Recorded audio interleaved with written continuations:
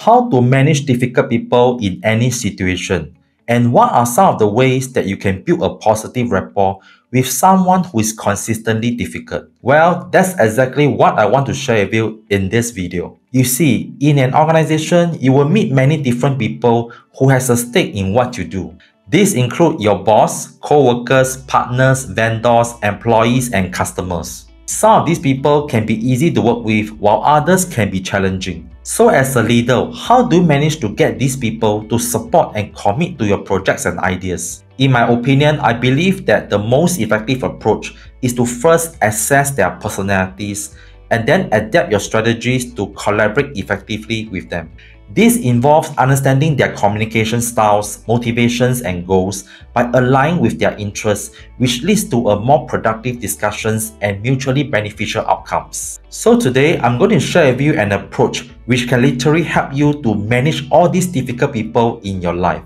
And I call it the Ocean Strategy, which is commonly known as the Big 5 personality traits. And according to research with an coefficient alpha of 0.83, the Big 5 personality traits approach is one of the most psychometrically robust tools on the market, whereby thousands of organizations, including consulting firms and non-profits around the world, have used it for its precision and insights. So without further ado, let's jump in to explore the Ocean strategy.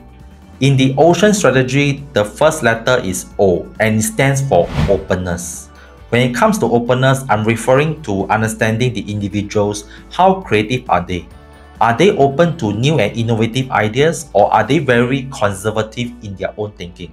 So individuals, they are high in openness, they are normally very creative and open to new experiences and explore new novel ideas. It is good to engage them with innovative solutions and encourage their input in brainstorming sessions. For people who are low in openness, they're usually very conservative in their own thinking and also resistant to change.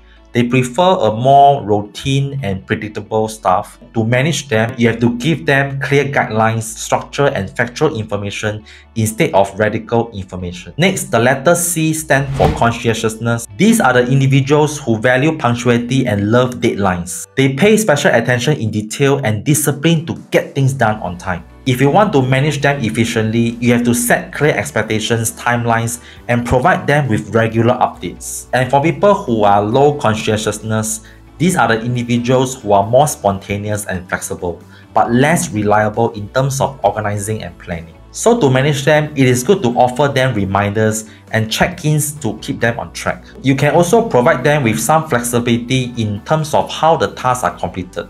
Next, the letter E stands for extroversion. When it comes to extroversion, I'm referring to understanding how outspoken, sociable, and outgoing are the individuals. And people who are high extroversion, they are often motivated by the social stimuli.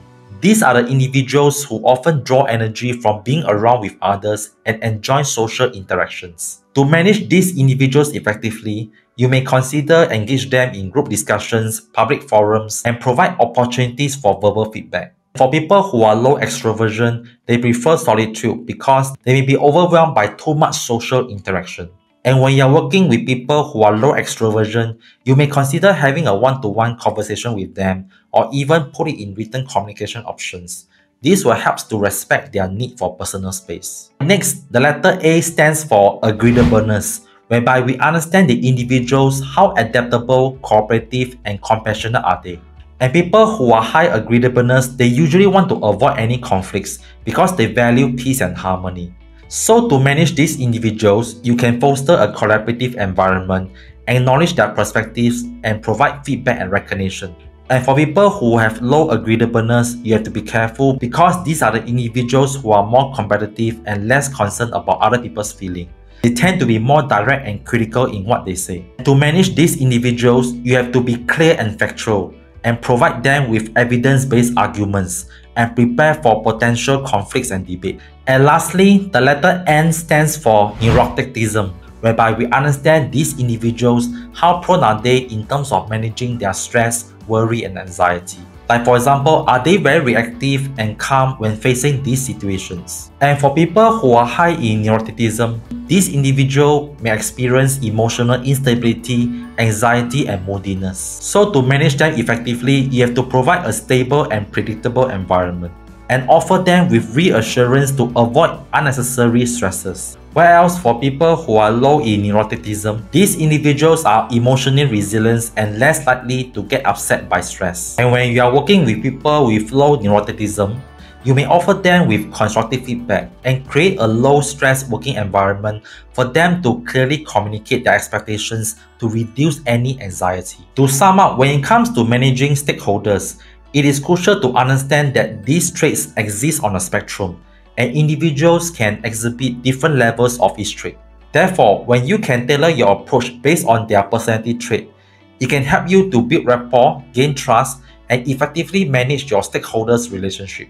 And before I want to end this video, I'm going to leave you with one powerful quote by a Roman statesman called Marcus Tullius Cicero. And it says, If you wish to persuade me, you must think my thoughts, feel my feelings, and speak my words. Ponder upon that, and I'll see you in my next video.